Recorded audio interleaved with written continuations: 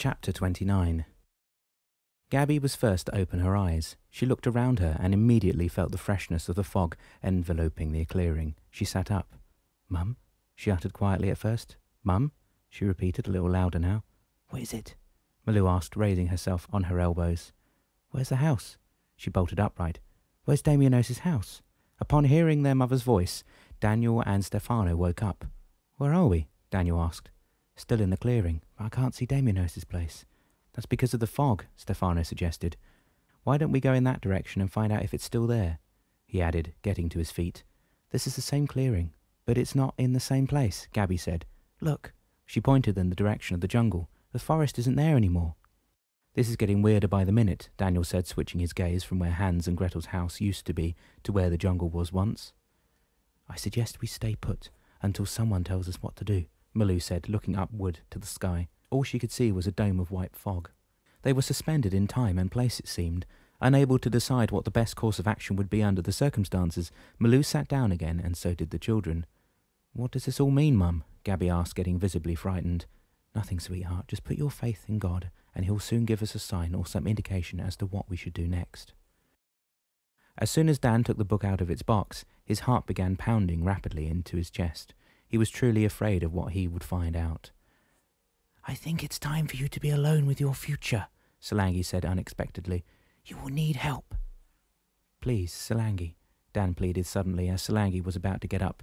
Don't leave. As you said, I will need help. Yes, Dan, but this old body of mine will not be able to assist in what you're about to do, so I better rejoin Damien and leave you in the care of someone who will be travelling with you. She stood up. Dan was stunned. What about you? He looked at Damianos. Where are you going? he asked, seeing that the old shepherd was leaving his seat too. I will follow your progress, Dan, and look after your family while you examine the options for your future. And who's that someone you mentioned just now, Salangi? Just open the book, Dan, and you'll soon find out, Salangi re- replied, already in the hallway. Staring at the two departing figures, Dan felt as alone as ever. As Salangi and Damianos had told him on many occasions, he was going to be the one to make the decisions that would change his future forever.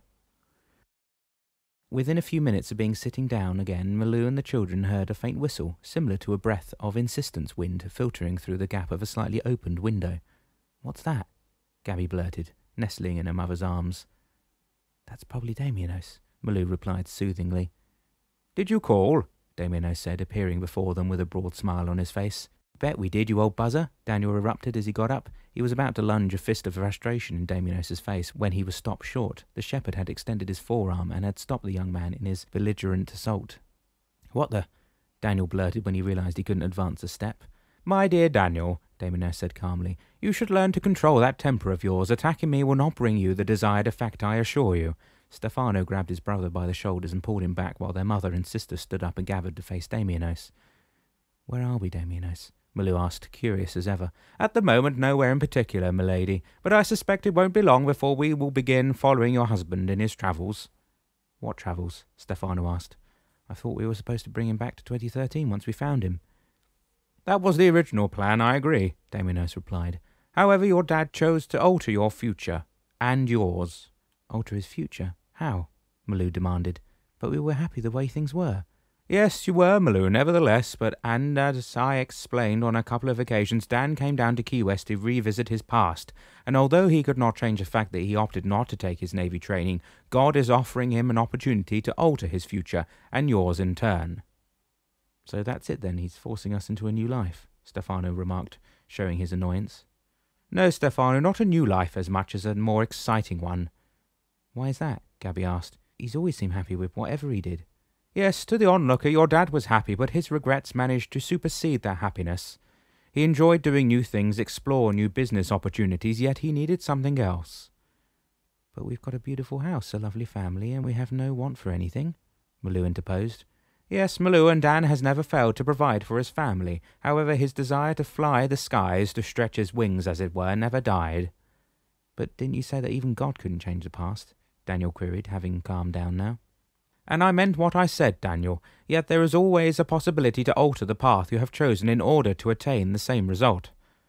How? Stefano asked, slightly baffled. Let's take an example. You, Stefano, have chosen to go to university and have chosen several courses to obtain your degree at the end of the road. Although you could not change the fact that you chose to go to university, you could opt to take other courses along the way to either become what you want to become or become something entirely different. The outcome, getting a degree, would not change, but the path you've chosen could be altered at any time, couldn't it? Yes, but once I got my degree, how could I go back and alter the courses? Once you've obtained a degree, Stefano, it's not the end of the road, but the beginning of another one, isn't it? You're not answering my question, Stefano argued. Oh, yes, I am. That degree of yours could be improved in many ways, couldn't it? Stefano nodded. Well, then, improving the results does not mean that you've changed your past, but you've altered your ultimate choices. It's like if I wanted to be a nurse, Gabby put in, and once I had my certificate, I went back to school, took different or improved courses to become a doctor. Is that what you mean? She looked up at Damianos. So that means Dan is trying not to alter the path he had chosen originally, but he's also endeavouring to improve our future. Is that it? Yes, Malou, that's exactly what he will be trying to do. Will he have help? Are Salangi and Damien going to help him do all that? Gabby asked.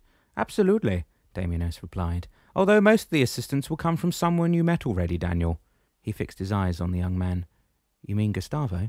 Precisely. God has put Gustavo in your dad's path by design, and the man is on his way to meet your dad at the beginning of his journey. What about us? What are we supposed to do in the meantime? Daniel asked. I believe, as I mentioned, that we will be asked to follow your father, yet at this point I would not be able to say for sure.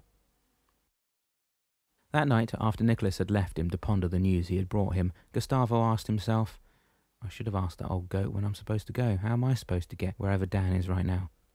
A question I am here to answer, a voice replied from behind him. Who are you? Gustavo uttered in disbelief, for the man who came round his chair to stand before him seemed to be surrounded of a strange aura. I'm Damien. Perhaps you remember our meeting at the beach and our lunch at the plaza. Of course, sir. I'm sorry, but I was lost in thought for a minute there. Have you got some news from Dan? Not exactly, Gustavo. Since you have accepted to accompany him, I'm here to take you to Dan. The two of you have a journey to start. You mean right now? Gustavo sounded surprised. Is there a better time than the present? But what about my job? Don't I need to give notice or something? I don't think that will be necessary, Gustavo. These earthly concerns will be taken care of, not to worry. How? I was supposed to take a semi to Atlanta. Damien shook his head and smiled. Actually, you have been called away, and a phone call to someone who needed that job has accepted to replace you. He paused.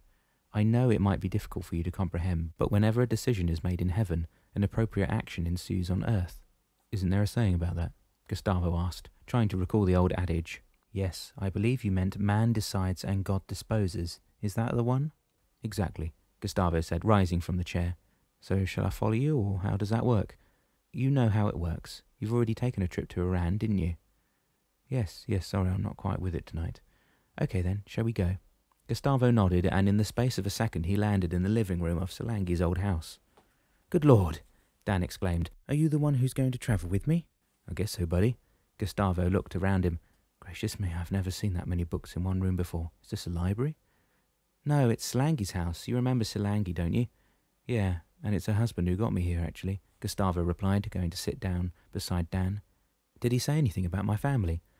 No, it was first Nicholas who came to me to tell me that you were gone, and then he told me that I had a choice and I could either stay put or go with you to alter your future, as he put it. And when I was asking myself when all that was likely to take place, Damien came to me and brought me here. All the while, Dan had been looking at his friend's profile, and why on earth did you accept to come with me? You had your future all traced out for you now, and you've got a job, and you're not drinking. Hold it there, buddy. Gustavo cut in. I didn't know if I could make it on my own yet. And that's as straight an answer as you're going to get. I wasn't sure that I wasn't going to go back to the booze, truth be told. Too many unknowns, actually. But you could have stayed with Fabio. No, Dan, as Nicholas explained it, we were thrown in each other's paths because of God. He planned it all. So who am I to say the opposite of what the boss has decided, eh? Dan nodded and finally smiled. I'm happy that you're here, Gustavo. I think I couldn't have tackled this task on my own either. Gustavo looked down at the book in Dan's lap. What's that? Is that the book you mentioned when we met Damien and Salangi the first time? Yes, you see, Dan pointed to the title. It's the Twelve Herculean Tasks of the Shepherd, and it obtained twelve tasks mostly related to behaviour or character traits that were designed to help me in my future. But since I came back to my past again, before I had time to use any of the things I saw or learned, I guess God has decided for me to open it again. Like a refresher course, you mean? I suppose so. Well, let's open it then, shall we?